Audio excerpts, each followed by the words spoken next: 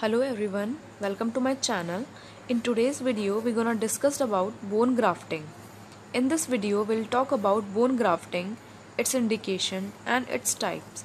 So without wasting further time, let's get started. We start with the basic. So the definition of bone grafting says that a bone graft is a surgical procedure used to fix problems with bones or joints. So bone grafting एक surgical procedure होता है, जिसे हम use करते हैं bones की और joints की प्रॉब्लम को फिक्स करने के लिए। It is the surgical method that replaced bone missing it is the transplantation of bone tissue it is an operation in which pieces of bone which is bone graft taken from other part and are replaced at the another side which means that we take the bone graft from one part of the body and replaced at the another side next Indication of bone grafting. Fractures. Number one is fracture, especially if they are not healing. Second point states that non union to promote union. To understand this point, we should know what is non union fracture. So, non union of bone is the body's inability to heal a fracture. Number third, filling of defects or the cavity in a bone. Next, mechanism of bone growth. There are three categories osteogenesis, osteoinduction, and osteoconduction. In osteogenesis, it is the process formation of the bone. Osteoinduction, it is the process by which osteogenesis is induced or is initiated. In osteoconduction, it provides the matrix to the bone for their growth. There is a note on a terminology osteoblast. So, these are the cells that form new bones and these cells work in a team to build a bone. Next, let's move to the further type of the bone grafting. Bone grafting is divided into three categories autograft, allograft, and xenograft. Autograft is again further subcategorized into two categories free graft and vascularized graft. Allograft is also subcategorized into two categories graft taken from live donor, graft taken from dead donor. To make the concept clear, we'll take a look of this diagram. So, in this diagram, the difference between types of bone grafting is quite clearly visible. So, in next slide, let's study detail of these. Autografting. Auto means self. So, in autografting, we take the graft from one point of the body and replaced it at the other side of the same individual's body. In autografting, we take the graft from the same person. Autografting comes under the gold standard bone grafting techniques. Autografting provides higher stability and lower failure rate.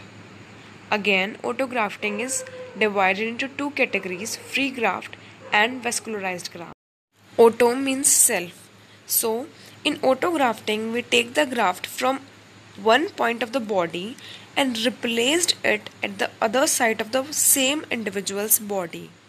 Autografting comes under the gold standard bone grafting techniques. Autografting provide higher stability and lower failure rate. Again, autografting is subcategorized into two categories free graft and vascularized graft. Let's have a look of free grafts. So, a graft is transplanted without its normal attachment or without its nourishing blood supply from one side to another. So, the main point about free graft is that these grafts are taken without their blood supply and placed at another site. These are of three types cancellous, cortical, and corticocancellous.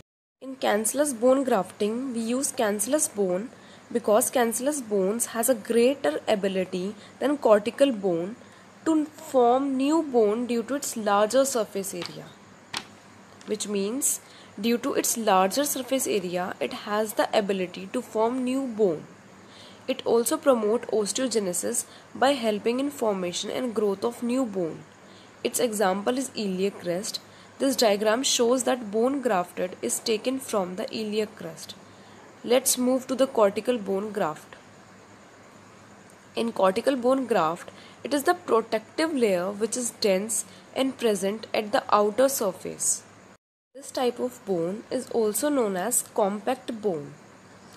It's made up of 80% of skeletal mass and because of this it is high resistance to bending which ultimately provide stability to cortical bone. So its example is fibula. Till now we have discussed free grafts and their subparts. Now we discuss vascularized grafts. These are the grafts taken along with their blood supply. In muscle pedicle grafts, bone graft is taken with the pedicle of muscles and its blood supply. In free vascularized bone grafts, bone is taken along with blood supply. Here is a point to be noted that graft remain as it is and with the time it's get incorporated with the parent and bind much faster. So till this slide autografting and their subcategories is completed. So now let's move to the allograft. In this slide we're gonna see about allograft. These are the grafts taken from another person of the same species. Allograft are useful in the condition when enough bone is not available from the host to be grafted. These are of two type. Number 1 live donor when grafts taken from live donor. Second one is cadaveric graft which means graft are taken from the dead donor. Allograft require techniques of bone preservation.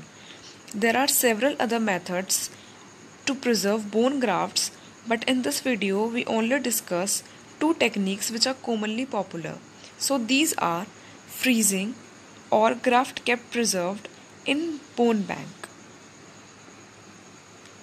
In this slide, we're gonna see a quick comparison between autograft and allograft.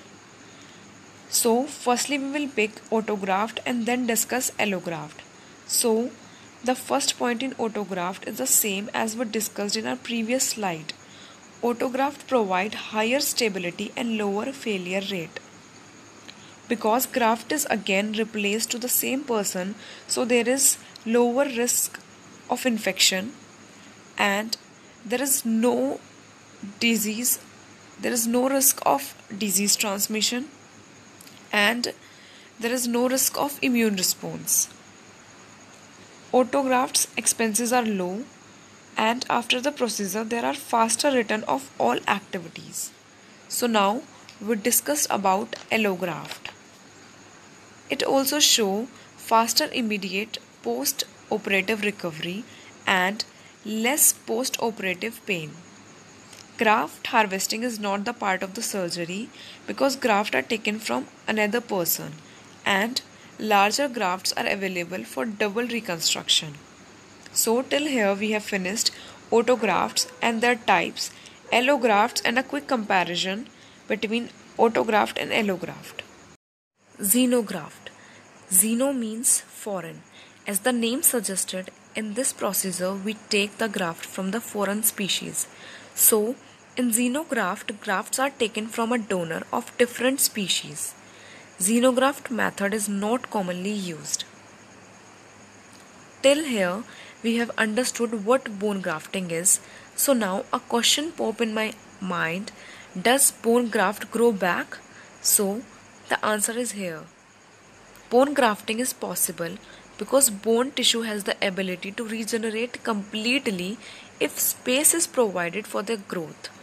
As native bone grows, it will generally replace the graft material completely, resulting in a full integrated region of new bone. So, the topic is over here. That is all I wanted to say to you in this video. I think I have delivered my message quite clearly and if there is anything that you would need my help on, if you have any doubt, let me know in the comment below. I genuinely welcome your feedback. Please like my video and hit the subscribe button and press the bell icon as well so that you get notified about each update of my channel. Stay tuned for the next video. Thank you. Have a great day.